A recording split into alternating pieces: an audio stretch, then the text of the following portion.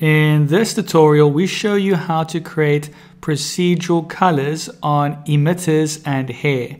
Please don't forget to like and subscribe. Adding a procedural color to your particle emitter is fairly easy and it could also be done to any particle system including hair.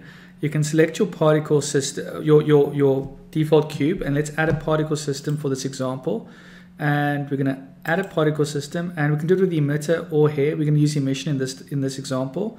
We're going to make the lifetime of the emissions last as long as our particle system. If we press spacebar, we can see all the particles fall and we probably want this to end at 250 as well so that it just never stops.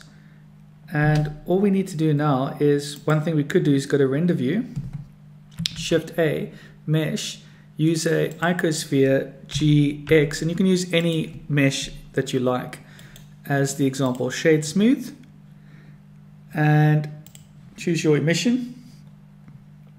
In the render, change from halo to, you can either put it in a collection or choose an object. In this case, we're going to use this object here. And we're going to just scale this to 0.2, but we're going to give it, give it a randomness of 1. So you get all sorts of crazy different sizes to make it quite interesting. And I'm going to press numpad 1 for front orthographic view, control shift numpad 0. I'm going to select the camera and just get the camera in the right position, which is somewhere here. And then I'm going to choose the world scene, choose render viewport so we can see how everything looks. And we're going to change the world scene to 100% white. And then we're going to select this icosphere, we're going to pull this up over here. Oh, come on. My mouse is acting up. There we go. And we're going to change to shader editor. Then we're going to click new.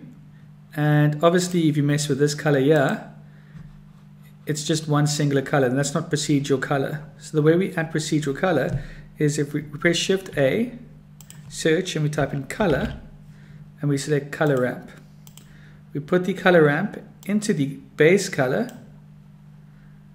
and let's add a few more examples. Maybe we'll add another example. There we go. We've got five colors to choose from.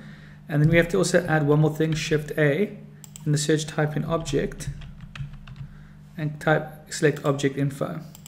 And all you need to do is connect your random to the factor now before we do this, let me just show you. If your factor is 0, it's black. If it's 1, it's white because it's based on where these color marks are. So if you connect random in, it's going to be all over the place each time. As you can see over here. And we've pretty much added procedural color. Now all we have to do is select the colors it can choose from. So we might say it can choose yellow. Select the next color. Let's make this nice and bright orange. Let's choose the next color. Nice and bright. Red. Next color, once again, nice and bright. And uh,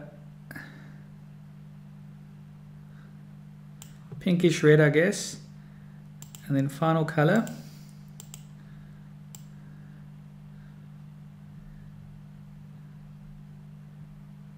Maybe make a yellowy green. Yeah or we can just change it to I don't know blue. There we go. And uh, all we need to do now is render this out. If you change this back to our timeline please don't forget to like and subscribe. And there we have our emissions all random different colors. This is procedural coloring on your emission. By the way, you, we could select our box over here and we could go to our particle properties and if we change this to hair, it would still affect the object in terms of hair.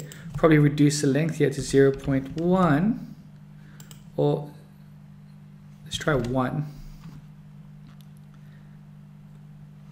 and you'd still get the effect. Camera G but, but you get the idea. That's how you add procedural color to both your, select this, both your um, hair and your emitter. Please don't forget to like and subscribe.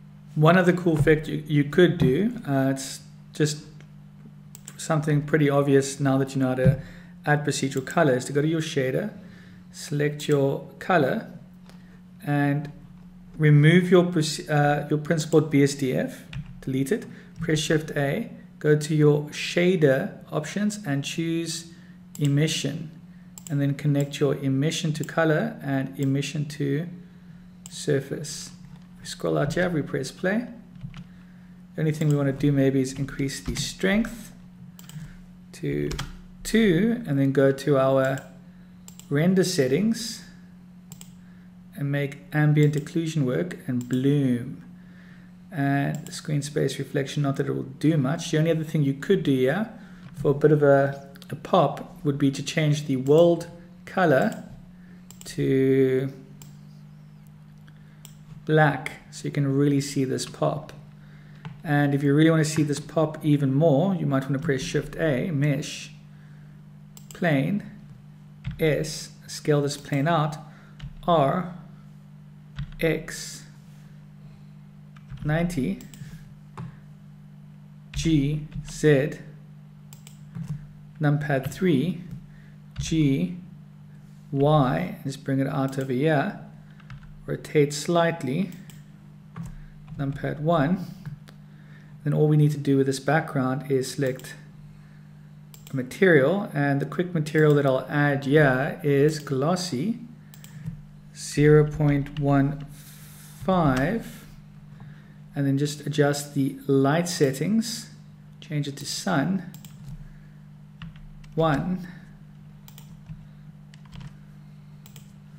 try 10 and then just change the angle.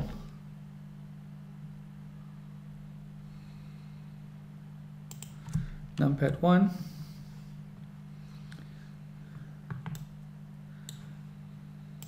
change the strength to I guess 1 there we go. Control alt numpad 0 and that happens to be a pretty good angle to demonstrate this. And that's it. We've just created a very interesting scene. Please don't forget to like and subscribe